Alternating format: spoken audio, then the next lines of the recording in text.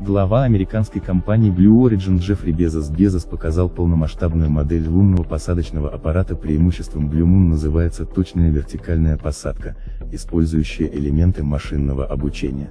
Успешно испытанная в полностью многоразовой суборбитальной туристической системе Blue Moon получит ракетный двигатель к преимуществу B7 глава Blue Origin относит использование в качестве компонентов топливной смеси водорода и кислорода, получить которые на Луне гораздо проще, чем, например, керосин или метан.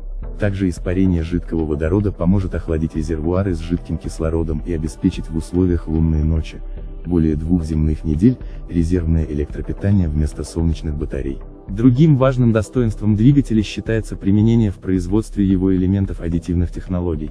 Выступление Безоса началось не с рассказа о Blue Moon и B7.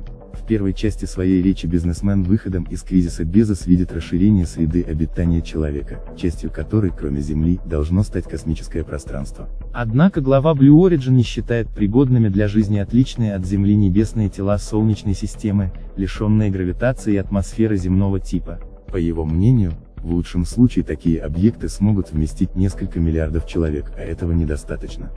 В качестве будущих космических колоний Безос предлагает создавать искусственные сооружения, известные как выступление Безоса было встречено неоднозначно. Конструктивная критика специалистов касалась, например, использования в качестве компонента топлива B7 жидкого водорода, добыча которого на Луне сопряжена со множеством трудностей.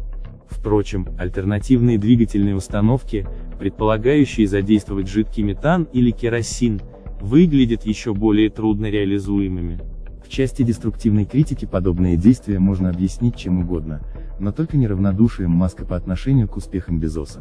Действительно, в ближайшие годы монополию SpaceX, у которой в настоящее время фактически нет коммерческих конкурентов, способна нарушить только Blue Origin. Эти компании, основанные в начале 2000-х годов, во многом похожи. Маск, как и Безос, получил хорошее инженерное образование и считает, что будущее человечества связано с развитием космических технологий, что требует кратного снижения стоимости пусковых услуг по сравнению с текущей, то есть использованием многоразовых ракет. Однако видение дальнейших перспектив у бизнесменов несколько различается. Маск полагает, что когда Земля станет перенаселенной или малопригодной, или совсем непригодной, для человека, потребуется колонизация других небесных тел, в частности Марса. Безос уверен, что человеку необходимо сохранить Землю как можно дольше, в противном случае необходимо возводить цилиндры Анила, а Луну, астероиды и другие небесные тела использовать в качестве источника полезных ресурсов. Планов нет, сказал глава Blue Origin на мероприятии в Вашингтоне. Разработка концепции Blue Moon потребовала три года.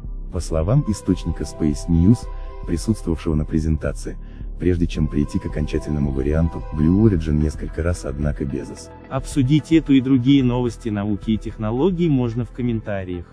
Подписывайтесь на канал, жмите на уведомления, чтобы не пропустить новые видео.